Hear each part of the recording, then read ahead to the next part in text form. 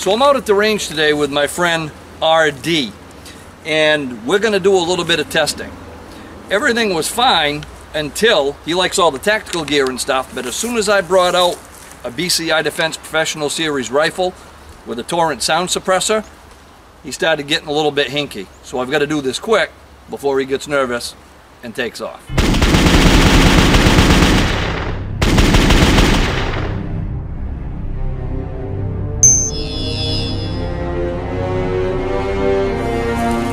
So this is something that I've wanted to do for a really long time. Um, test this Premier body armor. And it came in, I'm going to say six or eight months ago, but it was right before some bad weather started, then we had some health problems, and then hunting season came upon us, and the weather compounded, and for whatever reason, I'm finally getting to it, and uh, I couldn't I couldn't be happier.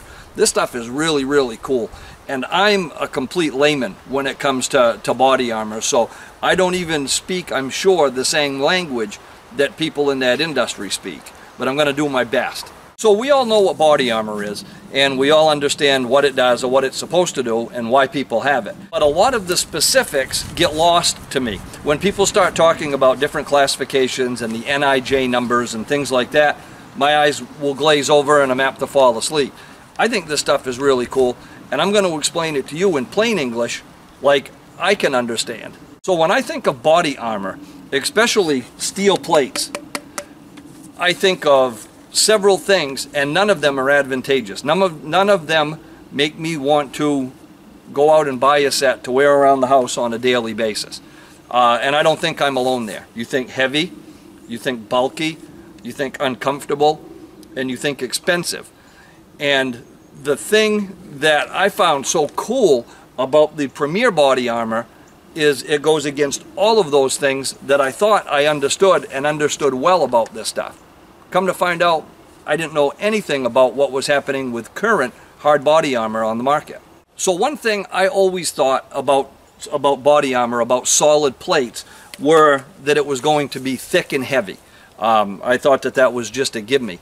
The Premier body armor is only five millimeters thick. Five millimeters. Now think about that. If you see things better, uh, or if you learn better visually than, than just talking about numbers, and you don't have a, uh, a ruler or a set of uh, calipers in front of you, eh, but you want something to compare it to, look at one round of 5.56 ammunition.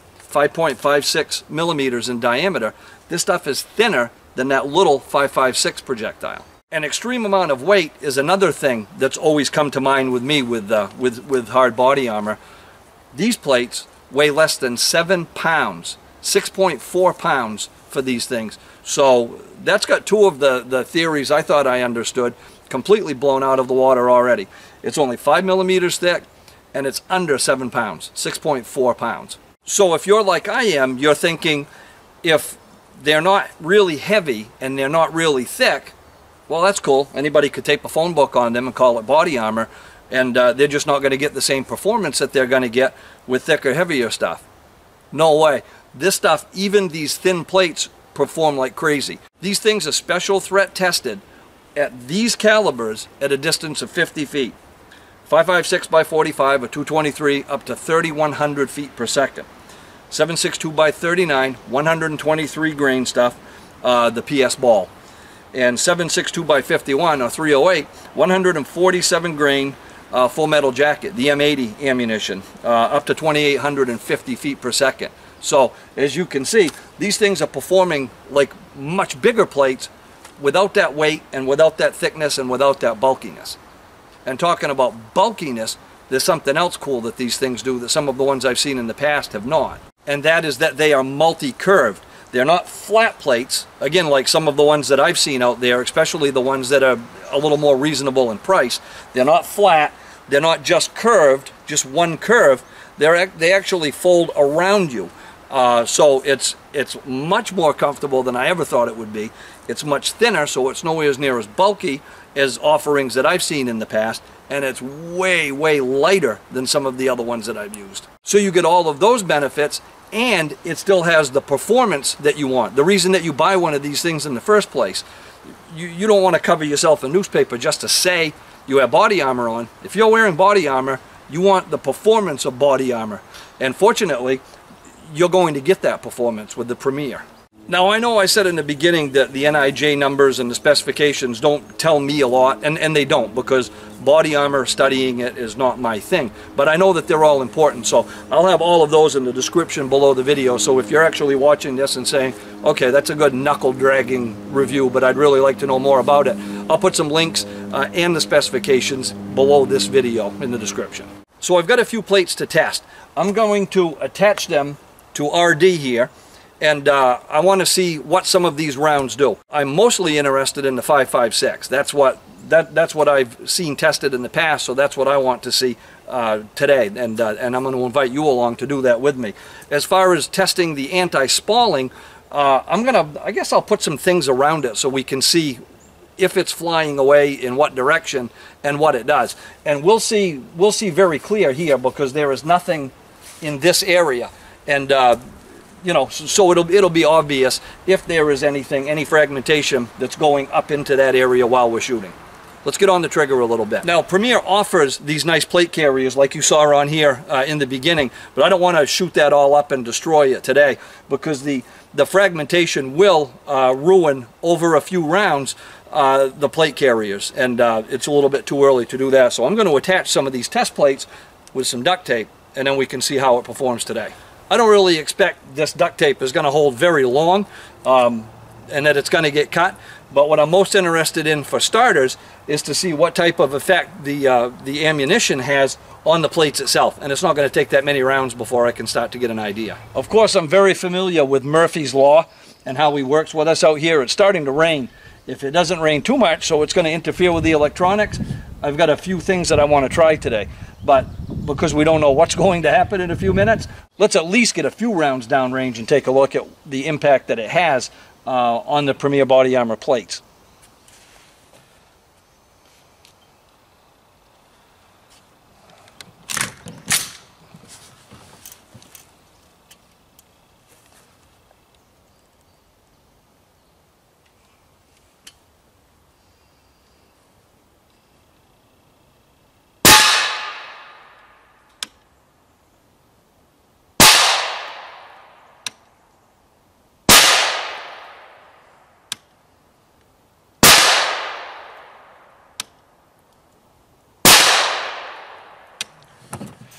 Now I'm intentionally putting several rounds in one spot because if we're going to see any type of failure, I can't think of a better way to find it. I think that was five rounds in one spot. I'm going to move to another spot and uh, kind of paint them around the plate a little bit more.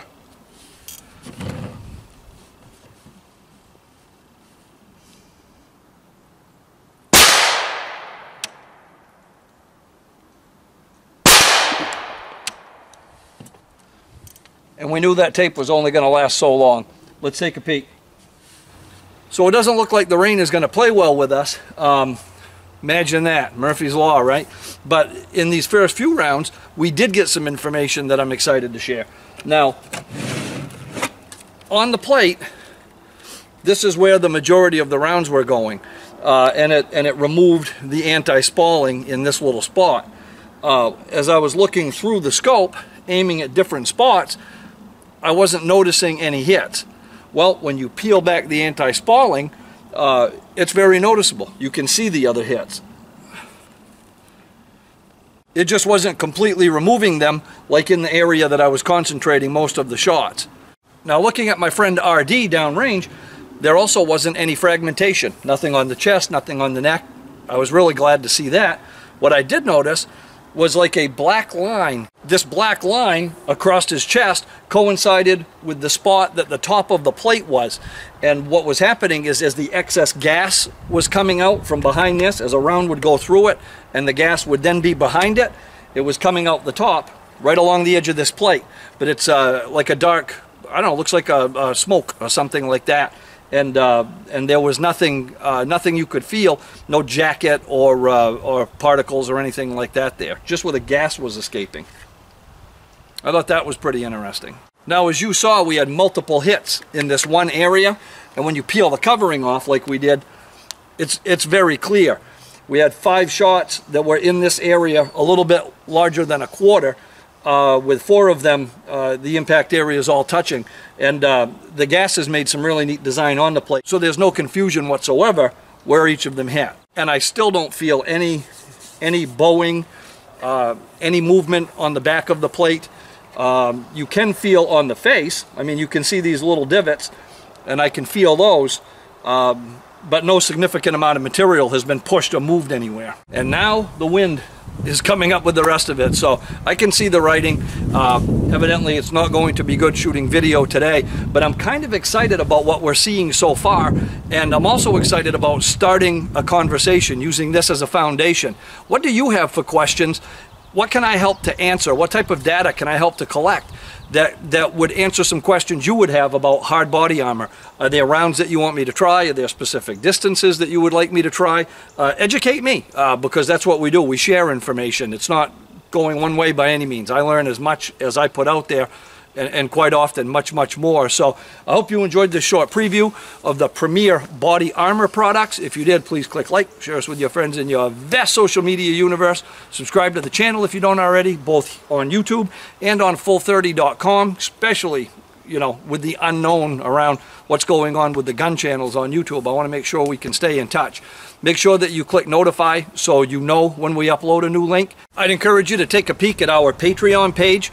Um, it, it's, it's really the patrons because of everything that social media has done to destroy uh, what little opportunity we had to to pay the expenses for doing these things. Uh, they've they've you know they've completely ruined it, and the uh, the patrons have really have really come to the front, and uh, it, it's really humbling, man. I can't uh, I can't tell you how important it is that people care as much about learning this stuff uh, as I do sharing it. So uh, Patreon, it's a fantastic site and it lets you participate more. We have some really neat things that are going on and uh, we're adding to them. So uh, I don't know, I'm an old dude, but I'm learning, I'm doing my best. You can follow us on Instagram and you can follow us over on Facebook. More important than follow us, uh, participate in the dialogue because man, there are discussions going on there all the time. That's facebook.com slash gun test vids. Till next time, have fun and be safe. Thank you.